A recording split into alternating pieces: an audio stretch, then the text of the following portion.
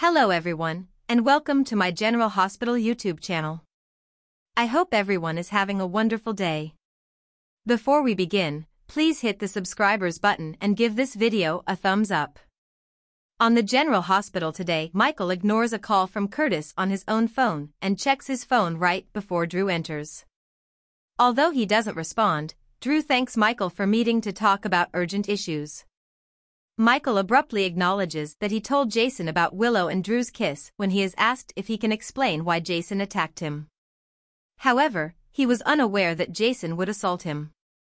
Drew wants them to talk honestly about Willow, something none of them wants, in order to get past this. He sincerely apologizes for what transpired.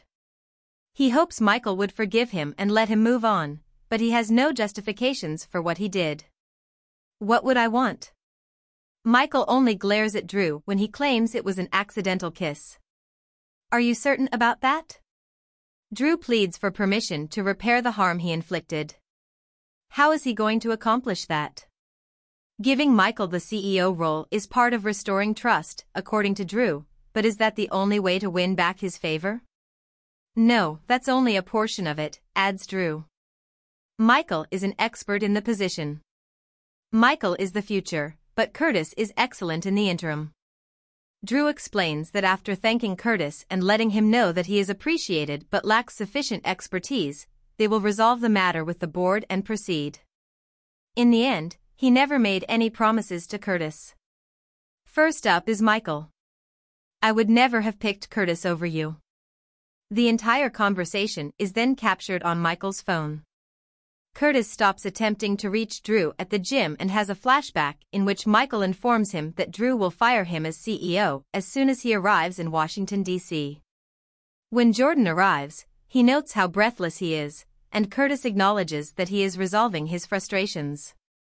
He informs her that he believes a person he trusts is concealing something.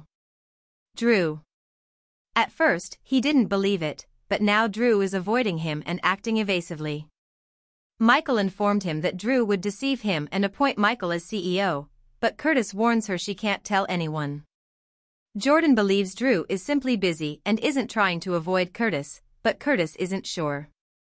While a nurse checks Lulu's monitors and then sits up to rub her legs as soon as she leaves, Lulu is shamming her coma. She attempts to walk once more, this time managing to stay upright. As she stumbles to the couch, she hears Cyrus inform the doctor that he has located a superior long-term institution in South Carolina. Lulu dashes back to her bed to return to her coma.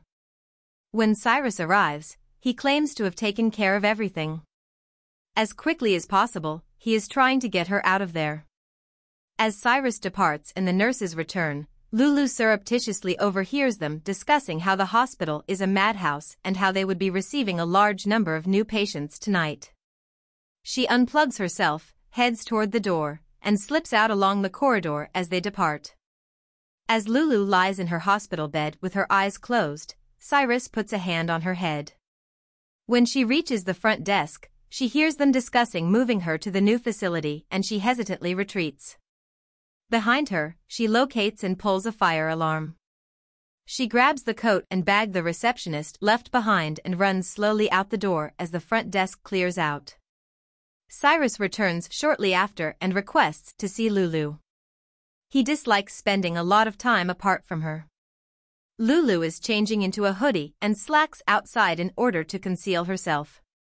She stutters into the darkness. When Alexis and Sonny arrive at the courthouse, they inquire about Kristina's health. She wants it all over so Ava can pay for what she did, but she's fine. When Molly and TJ arrive, Molly assures her sister that she has it. Jocelyn and Trina walk inside the courtroom, and Trina gives her boss a smile. Ric and Ava watch as everyone begins to stream in, with Joss and Gio taking seats on the opposite side of the room. The prosecution presents her case to the jury at the start of the trial, explaining why Ava is guilty. Kristina rides uneasily as she remembers their altercation and falling out of the window.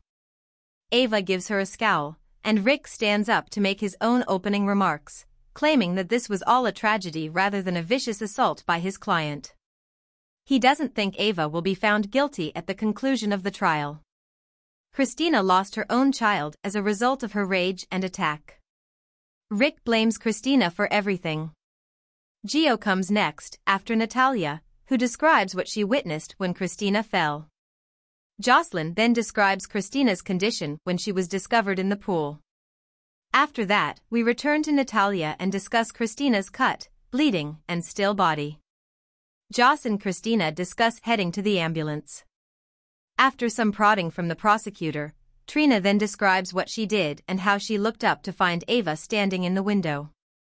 Ric then stands up to say that although Trina saw Ava, she was unable to identify the person or the reason behind the fall. Kristina's OBGYN then takes the stand and claims that the baby would have been born healthy. Another doctor describes how they were unable to preserve the baby due to the miscarriage induced by the fall. He responds that he did not find any defensive wounds as Ric stands back up to ask. Nothing definitive was found. Ava informs her lawyer that they are being destroyed up there when the judge announces a recess. After a little interval, Alexis and Sonny inform their daughter that she has been doing well. After that, Kristina is called to testify when the court reconvenes. In response to questions about becoming Molly and TJ's surrogate, she discusses becoming pregnant for Molly and the baby's overall health during the pregnancy. As she tells about her bond with the infant, Molly and TJ listen with sadness. I have never been happier in my life than I was at that moment. They move on after Ric objections. What transpired on the day of the fall and how Kristina knows Ava will be discussed next. I'm prepared to discuss what Ava did to me. Before she raged at Kristina, grabbed her arm, and shoved her through the window, she explained the subpoena, the altercation, and her pleas to Ava. In the hospital, Lulu looks forward tensely while wearing a medical gown. Michael informs Drew that they have an agreement in the last moments of the performance. To Drew's relief, they tremble, and Michael expresses optimism over Aurora's future. After Drew leaves, Michael picks up his phone, contacts Curtis, and plays the recording of Drew telling him that he would never pick him over Michael and that Curtis is returning to wellness. Do you now believe me? Michael claims that as long as Curtis is present, they can alter it. Kristina talks about her memories of the actual fall, including how everything turned black and how she came to in the ambulance. Then she passed out again, woke up in pain and confusion, and discovered she had lost the baby. As Kristina realizes that it was because Ava killed her daughter, Ava simply glares at her the entire time. Ric says he will be quick and asks if she needs a moment.